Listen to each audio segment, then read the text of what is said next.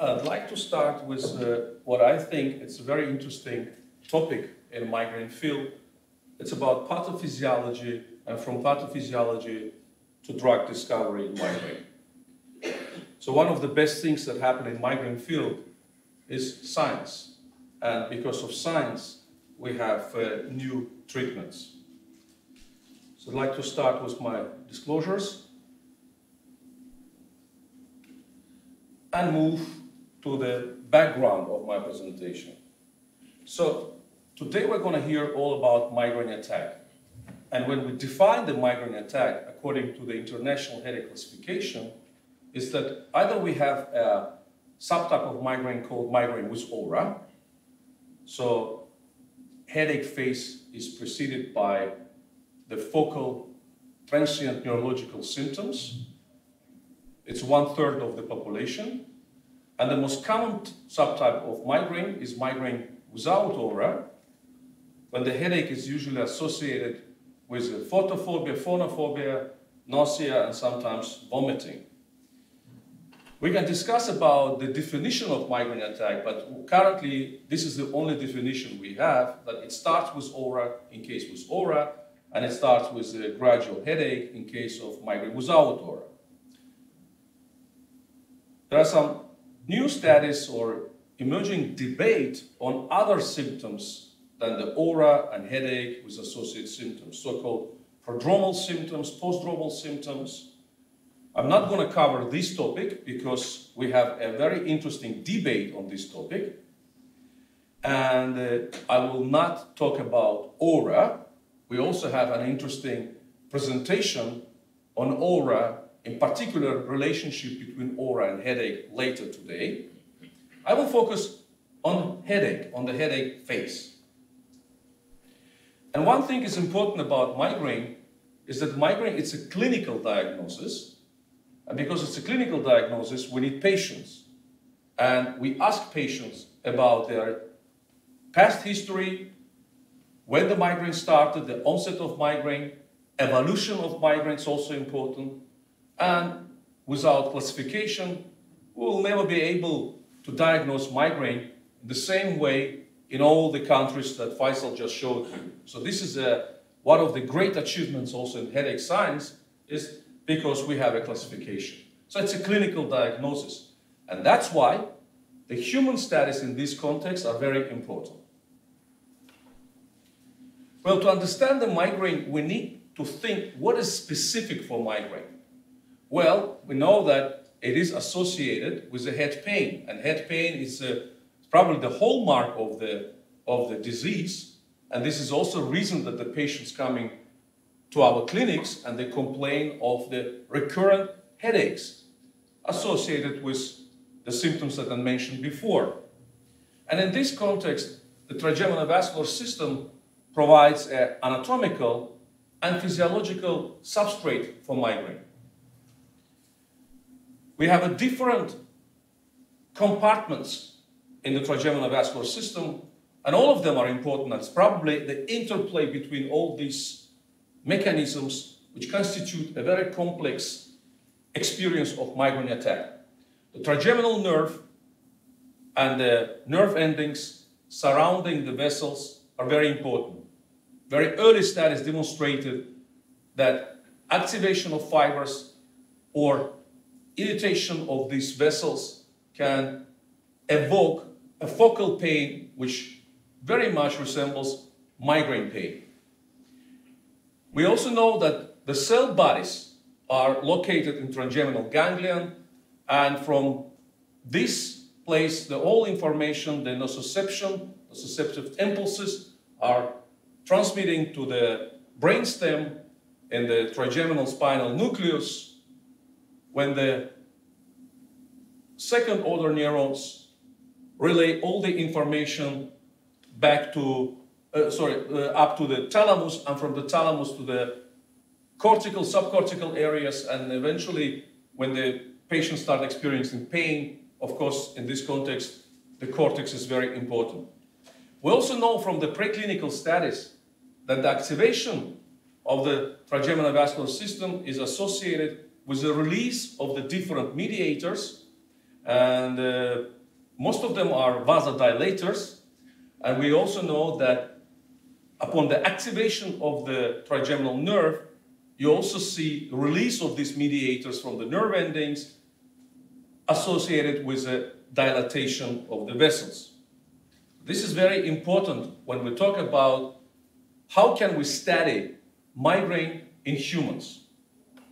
Well, many years ago, uh, my mentor, Professor Olesen, introduced in a more validated and systematic way a so-called a human model of headache slash migraine.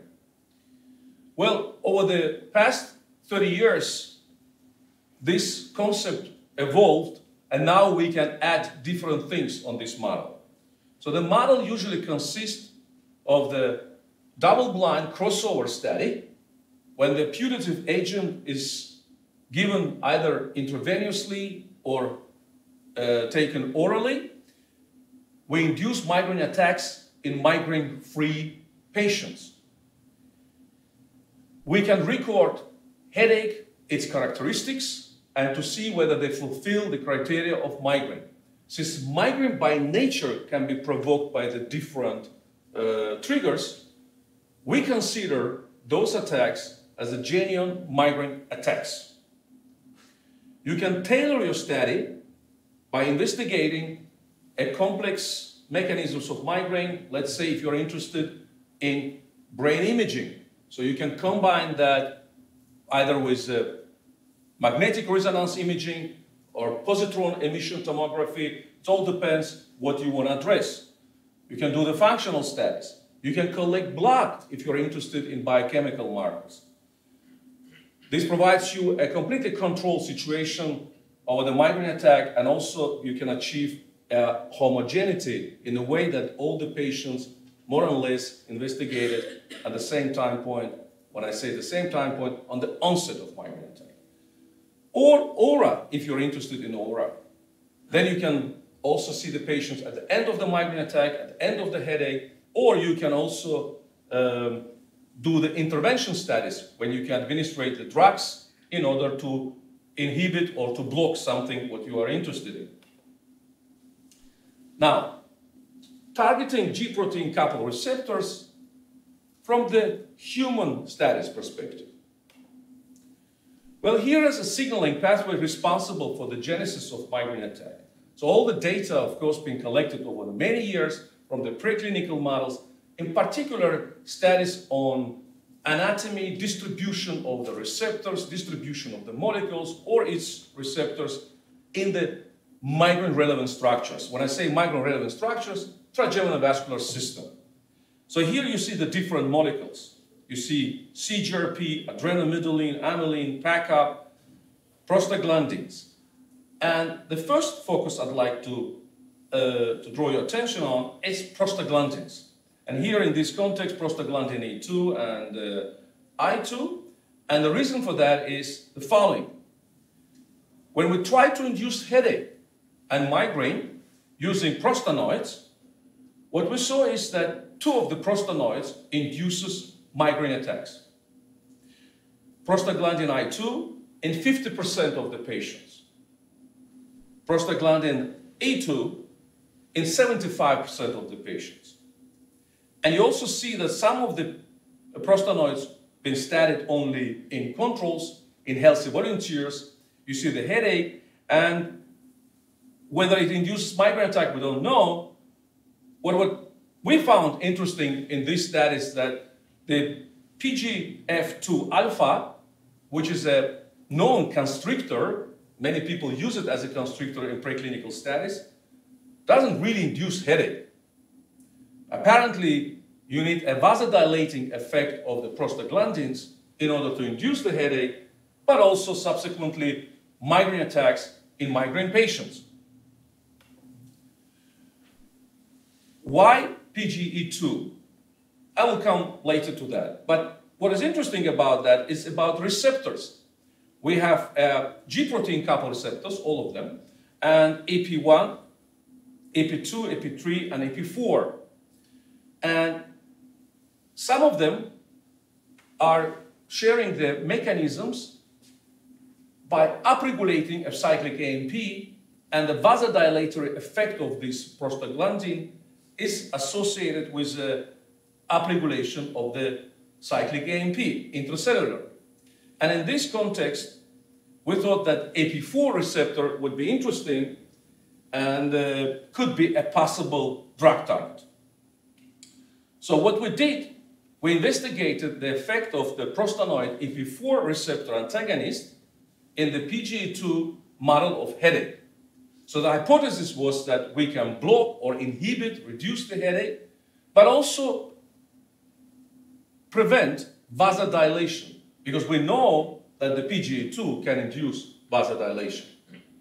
So this is a results of the study. You can see that two doses of the EP4 receptor antagonist was investigated, uh, were investigated in this study, 200 milligram and 400 milligram compared to placebo. That was a placebo control.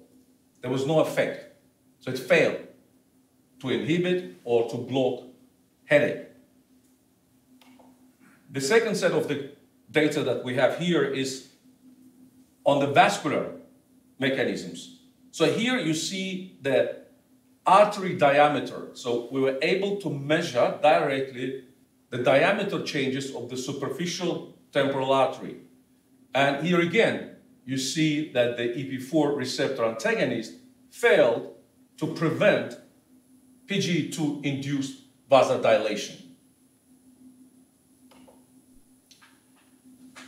We still think that PGE2 is interesting. So I'd like to draw your attention on the figure in the left upper corner. When we investigate different molecules inducing migraine, we usually have a in-hospital phase and we have the out of the hospital. We call it immediate phase or delayed phase. Most of the molecules inducing migraine, it takes time, two, three hours on average, you know, when you start developing the migraine attacks. But in case with the PGE2, you can see on the figure, it's almost immediate, okay? In more than 50% of the patients, in fact, almost 80% of the patients. So it seems that this is a very important molecule in terms of the migraine induction. So that's why we still think that it is relevant, although EP4 antagonist is unlikely to be involved, but it's failed, but maybe EP2. And the reason for that is also because, again, it's also involved uh, in the induction of the cyclic AMP, and as a receptor, I think it will be interesting to study that. So we will see whether there will be new drugs targeting this particular receptor so we can test in our human model. Now, we all know about the CGRP, calcitonin gene-related peptide. The reason is that because this peptide is involved in migraine pathophysiology. Another reason is also because we have drugs now uh, antagonizing either CGRP or its receptor, and they are effective in migraine. But the calcitonin family is not only CGRP, it's a group of peptide hormones. They share all structural similarities with the calcitonin, and they include CGRP, amylin, and adrenomedullin. They also have some uh, mechanisms, uh, uh, they also share receptors. So they are formed by association of the calcitonin receptor with so-called receptor activity modifying protein, RAM.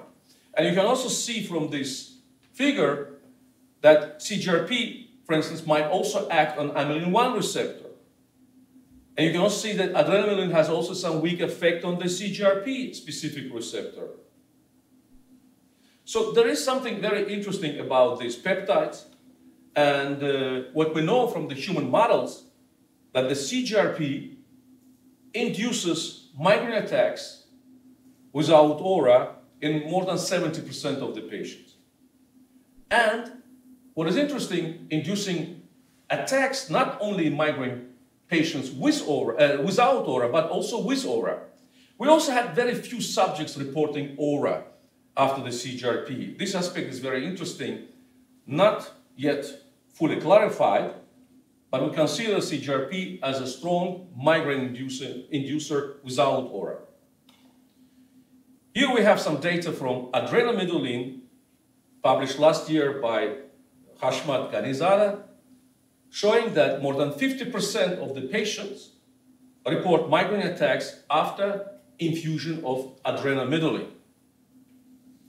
He also showed that pramlintide, which is the amylin agonist, induces migraine attacks in 41% of the patients.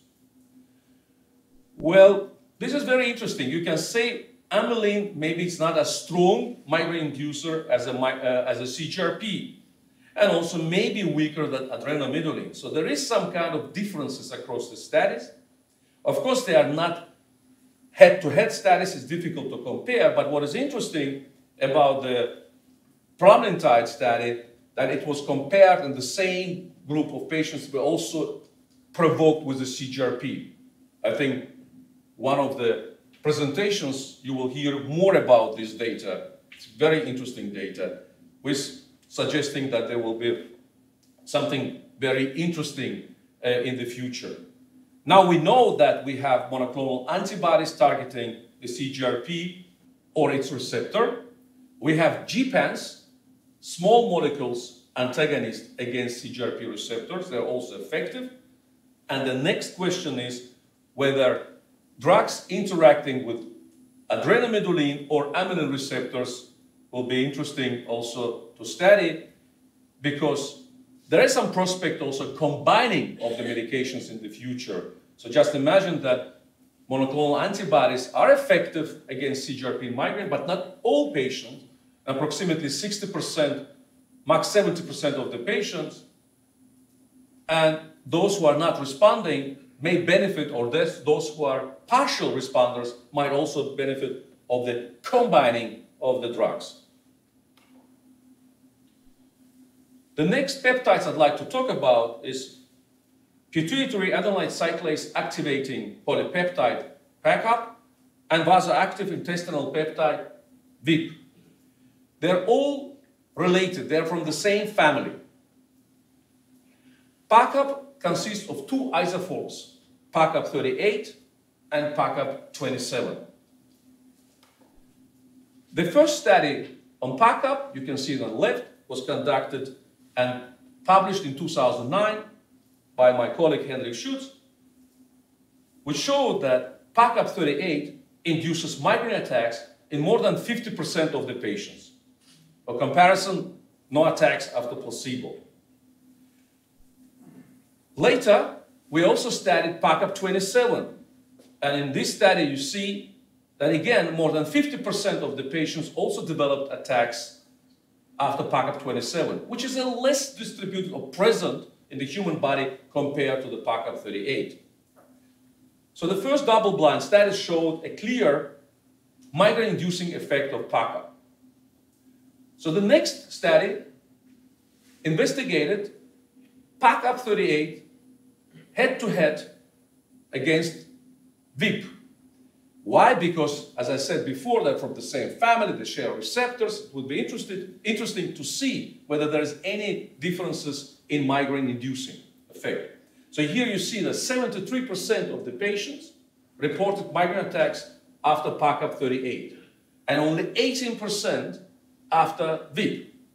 The first question we asked, if they are related and both vasodilators, why we see such a huge difference between these two peptides in the same patients? Well, we looked at the median time from infusion start to onset of migraine, also on the range. There was no difference. The next step we did, the study also combined uh, induction of migraine with imaging. And in this study, my colleague Faisal Amin investigated arteries using the MRI angiography. And in this uh, study, we measured with the green, you see superficial temporal artery, with the blue, middle meningeal artery, and with the red, middle cerebral artery. You see both peptides, this is direct measurements of diameter using the angiography, MRI angiography. Both peptides, no effect on the middle cerebral artery. So if you can use it as a surrogate for the blood-brain barrier, you can say, well, both peptides do not really cross the blood-brain barrier, and that's why they don't have effect on the middle cerebral artery. But both of them induced dilation of the superficial temporal artery and middle meningeal artery. But the difference was the duration.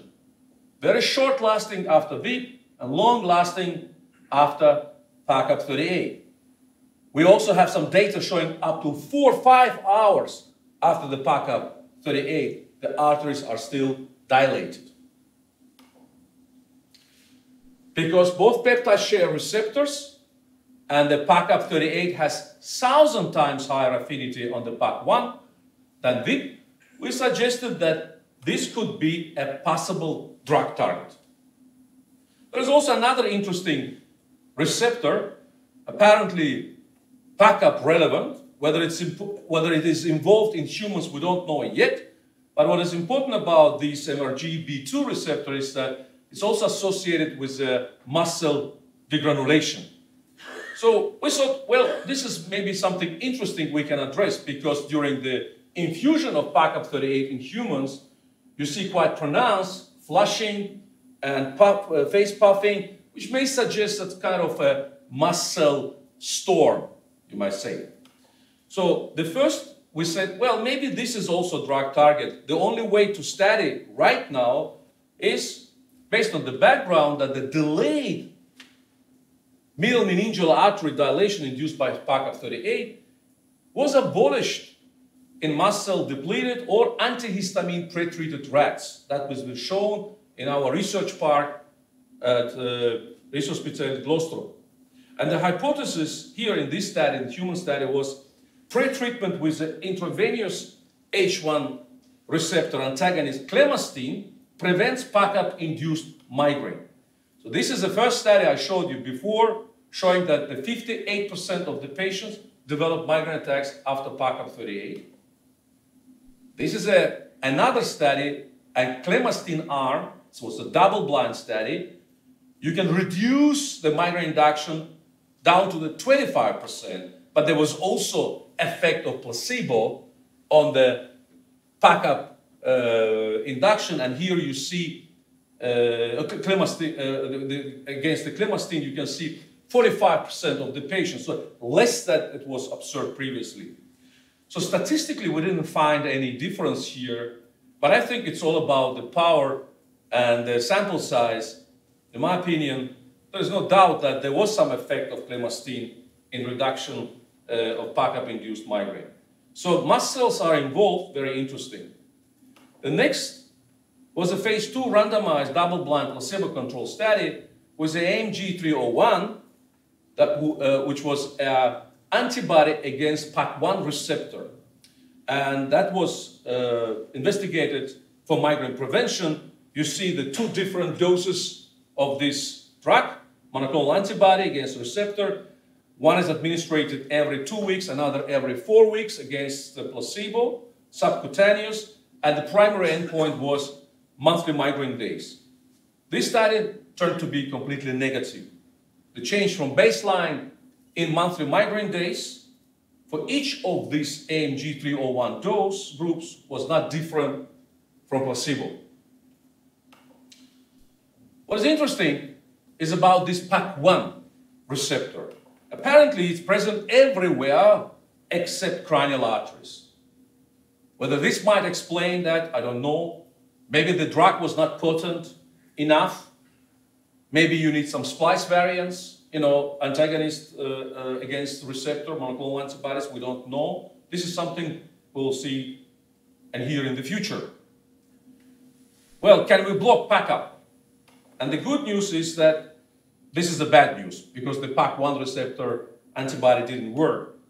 And the good news is that we have two currently under development, and we will look forward to see the results of this data, whether the monoclonal antibody against PACAP, anti-ligand monoclonal antibody, would be efficacious for migraine prevention. We don't know. But there is also another interesting aspect. Can we block VIP or its receptor in migraine? Well, to address this issue, we have to go back and again see why, PAC, uh, why VIP was so weak in induction of migraine. So the hypothesis was it's all about the very short lasting effect of VIP, in particular on arteries. You can see it here again. I showed you before on the right. And to address this issue, my colleague Lanfranco Pellesi conducted this study, randomized clinical trial, effect of the vasoactive intestinal polypeptide on development of migraine headaches.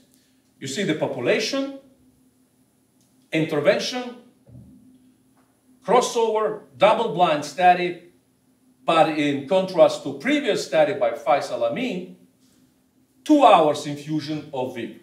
Okay, two hours infusion of VIP, which we documented in healthy subjects, was associated with a long-lasting dilation of the superficial temporal artery.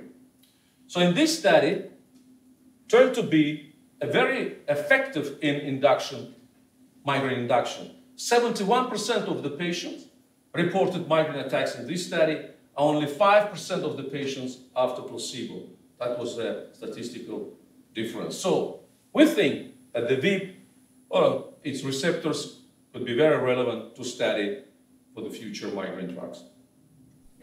Now, targeting downstream signaling pathways. Here we see the, all the signaling pathways responsible, which I more or less covered all, except the one on the right. You see the glyceryl trinitrate, nitroglycerin, which induces migraine attacks in more than 80% of the patients, but by the way, via intracellular mechanisms. And that was later shown also with a sildenafil, which upregulates cyclic GMP. It induces migraine attacks in the same, let's say, uh, uh, proportion of the patients, more than 80% of the patient. So there's not, not much difference because you don't need a receptor, you go directly into the cell. But on the left, you see via G protein coupled receptors, they are less migraine inducer compared to intracellular. You can see also with the cilostazol, which is a phosphodiesterase 3 inhibitor, which prevents a downregulation of cyclic AMP by increasing that intracellularly. And you see the migraine induction is in more than 80% of the patients. But one of the important pathways, or, or, final or common you might call it, is ATP sensitive potassium channels and also large conductance calcium activated potassium channels, big channels. Why? Because all of them are expressed, both of them are expressed in the migraine relevant structures that I showed you within the trigeminal vascular system. They're activated by several key molecules, including those provoking migraine attacks. And more importantly, that the synthetic ATP channel and big channel openers provoke headache. And that was the reason that the drug development in this field in the hypertension stopped because of the side effect headache. Well, we studied levcromakalim ATP channel opener, which showed that all migraine patients reported migraine attacks. Here you see the median time on onset of migraine-like attacks, three hours. You see that the migraine attacks induced by levcromakalim in terms of the localization very similar to patients' spontaneous migraine attacks. And on the right, you also see the placebo response with the red showing a median intensity, and all the blacks are individual pain intensity. So it was a quite strong migraine inducer. The second study was a targeting of the big channel, and, and here using the opener MaxiPost. And again, more than 90% of the patients here reported migraine attacks, compared to almost nothing uh, to placebo. And the median time onset was the same like it was levcromakalim three hours after. But the range was quite wide because some of the patients also develop attacks immediately, uh, either during the infusion or just right after the infusion. So what we concluded from this study is that opening of the KATP and the big channels causes migraine attacks without aura. And opening of these channels is the strongest provocation of migraine ever studied. I would suggest that the blocking of these channels has a new therapeutic target downstream from the signaling molecules. Here's the proposed trigeminal vascular ion channel hypothesis in migraine pathogenesis. We think that the opening of ATP-sensitive potassium channels on the vascular smooth muscle cells can be achieved either by direct stimulation or via the neuropeptides or via G-protein coupled receptors. And this results with the efflux of potassium, which causes hypopolarization and vasodilation of these arteries. There is nothing new about that. But how can we explain the coupling between the vasodilation and, uh, uh, uh, and the effect on the nociceptors? Here we have an issue and problem. If we state that we can directly activate these fibers just by giving the lebromacalib or the big channel opener, it will be unlikely because you would expect the anti-nociceptive effect because of simple physiology. But here we think that the activation of the perivascular trigeminal primary afferents is caused by the increase of the potassium, which sensitize and discharge these nociceptors. Eventually, all these impulses goes to the uh, trigeminal, via trigeminal nerve to the nucleus and then to the uh, supra uh, nuclear structures, eventually resulting in the human experience of migraine pain. So this is hypothesis, of course, and should be tested and proved or disproved. Distribution of the channels, they're everywhere, and you might say, well, maybe it's dangerous to go and block them if we talk about the you know, future uh, drug discovery. Well, the good news is that there is some differences because uh, channels are not just the, you know, um, homogeneous in terms of their expression and the structure, and we have some uh, hope here that the SUR2B subunit or the KIR61 subunit could be a potential for the treatment of migraine because of their localization distribution within the arteries, particular smooth muscle cells, and we're talking about preferentially, of course, the cranial vessels. So the key point of my presentation today is that all signaling molecules involved in the genesis of migraine attack are potent vasodilators. Modulation of the nociceptive transmission by ion channels mainly potassium channels, may be a common pathway in the genesis of a migraine attack. And insights from human models of migraine and supportive preclinical data have also provided a basis for the development of the targeted therapies. But, very important, not all from the human studies been proven effective for the treatment of migraine. It's something different we can talk about that. And some provide only modest therapeutic benefits, which underscores the whole complexity around the migraine. I'd like to thank funding, funding bodies, for all these studies that I showed you today, and of course, participants, migraine patients, and healthy volunteers who volunteered for all these studies, and my colleagues at the Danish Headache Center Migraine Group. Thank you very much for your attention.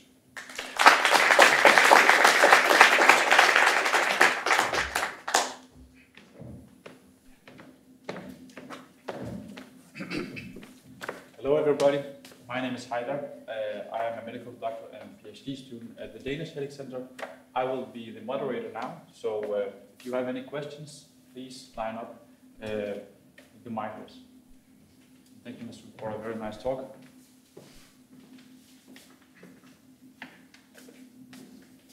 Thank you for a very nice talk. I have two uh, questions. The one thing when you say that these studies are conducted in a blind uh, manner, how do you correct for a lot of the physiological responses that you get, for example, from CGRP and adrenaline, such as increase in blood pressure and uh, and also flushes and these type of things in, uh, in the patients? Yeah, you cannot control this 100%, of course, but uh, that, that is the reason that we do it usually in placebo-controlled studies and uh, even in the placebo-controlled studies, you see a so-called nocebo response. That some patients develop uh, migraine attacks or patients develop also headache. So meaning that there is a quite good blinding in terms of the patient's report because this is a very subjective It's just based on the symptoms. In terms of the, uh, the vascular responses, uh, the people who conduct you know, all the measurements, they're of course blind for that. And the changes are very small changes. You really see that when you start doing the statistics and data processing. They are not as you know, huge. The only thing that might unmask that is that this kind of flushing, this effect. But again, when you do it in the random order, and, and again, the flushing is also quantifiable because we have a laser speckle for this reason. So we can adjust for that, you know, and this is the best you can get from humans.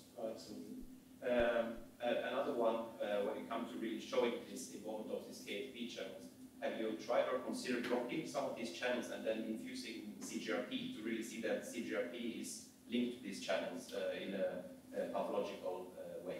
This is an excellent question, Christian. I think uh, the problem is that we don't have a really good uh, blocker of the KCP. The only available we have is the glibenclamide. And glibenclamide is very bad. We really tried that. And the reason for that is that uh, because uh, it can give you hypoglycemia and we cannot use the high doses. Maybe you need a high dose. So it's not very good uh, selective blocker of the channel. And, uh, but this is a really interesting question and I would love to have a, a blocker of the channel and to see whether we can block the CGRP-induced migraine. It's an excellent uh, idea, but not now. So really, really look forward to finding the, the right blocker. So yes, I agree with you. Absolutely. Thanks. Thanks. My name is uh, Mohammed Karagoli from the Danish Headache Center. Thank you, Professor Shina, for the nice presentation. Well, the question is, I really like the Bostanoids data. Uh, do you think that the immediate headache induced by Vostanide E2 compared to I2 because of different signaling pathways or because of different anatomical uh, substrate for migraine attacks? Because we saw that there, there was immediate migraine attacks after E2 compared to I2. So, and, and the second question is, are we going to see stratification of migraine after the uh, uh, uh signaling pathway that uh, is involved in migraine attacks in the futures? Thank you for your question, Mohammed. For the first question is that there could be a receptor distribution differences between the prostacyclin and the PGE2. So you're, you're probably implying for this that could be differences in terms of the distribution and expression of these receptors, and that's why we get. But I, I don't think so. I think that this idea of the immediate headache is a bit tricky. We need to study it more, uh, more in head-to-head comparison in the same patients. Because you also see with the KCP channel opener, you did the studies, some of the patients also develop attacks immediately. But still, there is more towards the immediate response in case with uh, PGE2. So this could be that this receptor probably causes, uh, uh, you know, uh, quite fast activation of the intracellular mechanisms compared to other. Maybe their distribution is different, and that's why more widely spread in the trigeminal vascular system. We'll look at the preclinical studies. We didn't really see the big differences between them because they're expressed everywhere. But again, this kind of extrapolation of data is very difficult because they're for preclinical and what we see in the humans, not everything we can explain. Number two is that whether we have a distribution in terms of the, uh, or different expression of migraine based on the different molecules. So migraine could be a KTP migraine, migraine could be a nitric oxide migraine or other. It's also a very interesting idea uh, suggesting that migraine is very heterogeneous in this term. But I think, I think it's all about the threshold. Because we used to say that the CGRP is something maybe for one particular group of migraine patients, 60 to 70% of the patient. But when we studied the CGRP in chronic migraine patients, uh, you know, Afrim uh, and Henrik Schütz, they did it, almost more than 90% of the patients develop migraine attacks after the CGRP infusion, suggesting that it's all about the threshold, you know, where the threshold is. So it is a nice idea to have a different migraines, but I'm not sure about that. So can I, well, the- the last, the last question here from me is, so if you get the patients in the high threshold, or, or, excuse me, the low threshold, then you would expect that you will induce migraine attacks in all of them using whatever of these molecules we saw. Yeah, yeah, you might say you might say so because uh, you know some years ago, uh, uh, uh, Jes and his group they showed even in the healthy subjects, you know, if you do a long-lasting infusion or exposure to nitric oxide, even those, you know, apparently migraine-free, uh, you know, participants, they start developing some kind of migraine features, suggesting that it could be all about the threshold like you have a threshold for seizures, right? You can induce seizure in anyone. So maybe we can be very provocative now and say we can induce migraine in everyone if you need, if you have a strong enough, let's say, trigger, right? But I know that you did it with the levothyroxine in healthy subjects, and they didn't develop migraine attacks. Interesting. Thank you. Thank you for a very excellent presentation. And you have partly answered my question about this again. Uh, that if you have CGP oral antagonists, it's only 10 to 20 percent who are pain-free. It's the highest. Open that without below 10. Is it so? You expect them to be so with all specific drugs? They, Yeah. they are only effective that way. So, Pierre's question is more or less about the, how we can, in, how we see the pathophysiology in context of the treatment response. So, if CGRP is important, how can we explain, uh, uh, let's say, relative uh, modest effect of the small molecules, right? Uh, I think uh, it could be for reasons that bioavailability, because it is a bit special, in comparison, again, going back to, again to Professor Olesen's study showing that the Olcegipan was quite effective it was, was given intravenously, right? Yes, please correct me. It went up almost to the 80% of the subjects, uh, you know, pain, pain-free, right? Yeah. So, so it's all the debatable, right? Now, it's uh, that we know that if you start comparing the, the tablets, I agree with you that the triptans uh, seems to be more effective, although we don't have a direct comparison studies against the, the current GPANs that we have. We have, so for the old Japan, for telkegipan, if I remember correctly, Per, there was a, almost not, not as good as a rizatriptan or elatriptan, but still quite good in, by the numbers better than the, the current ones. Yeah. Five percent difference. So whether we can expect the same, let's say, uh, efficacy, you know, uh, with a new target is difficult to say. You might speculate that, but I think the good thing about the migraine and science in our field is that by by developing new drugs, we are expanding our armamentarium. So, so we can actually see also those who are not responding to the previously developed drugs, like the triptans, might respond also for the other drugs. Uh, with monoclonal antibodies with the CGRP against CGRP, it seems to be they're very good, right? At least you can say if you are very critical, as good as the previously used drugs, right? Uh, but they're not bad at all. And, but they are used as a preventive, not as an acute. So maybe there is a difference how you use the medication, you know, against this particular receptor or this particular channel as a preventive or as a. We know that triptans cannot really be used as a preventive. If we start taking the triptans every day, you know, we will develop a medication that will use headache.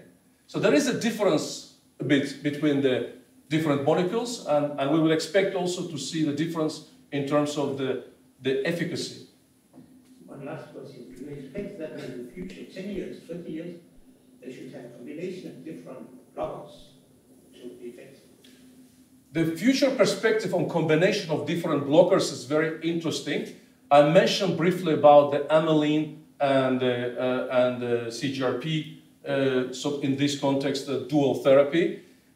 Uh, I'm, I'm personally a bit critical about the combinations. I'm more for the monotherapy because it's very difficult to show uh, the or to claim efficacy based on your clinical experience. But I would accept that immediately if somebody conduct a randomized clinical trial properly controlled in terms of the power, efficacy, and show that the combination really is better than that. So far, the combinations, at least we know with the beta blocker and topiramate, was not quite successful when you do the clinical trials. But in clinical practice, I know some of my colleagues are doing that. So in the future, with a new drug targets, more selective, let's say in terms of the mechanism based, I would not exclude that. Maybe CGRP antibody and if PACAP antibody is effective, could be combined. It's possible. And now we have a question from uh, Professor Aynor. Do you think, Masoud, uh, that specific effects of neurodegenerative uh, vascular unit depend on age uh, of any effects uh, or mechanisms?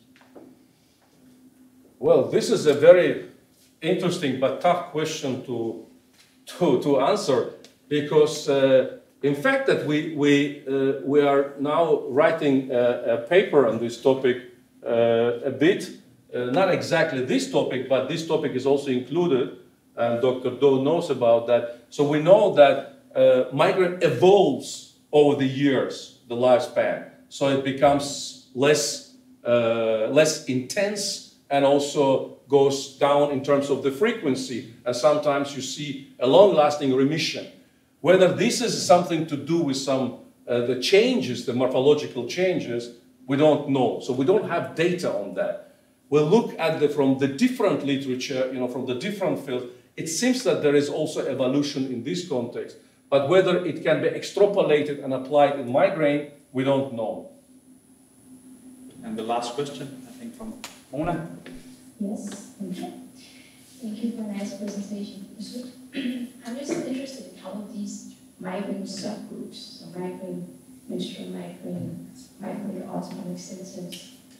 Do you expect that there will be more and more of these targeted towards specific endophenotypes, subgroups,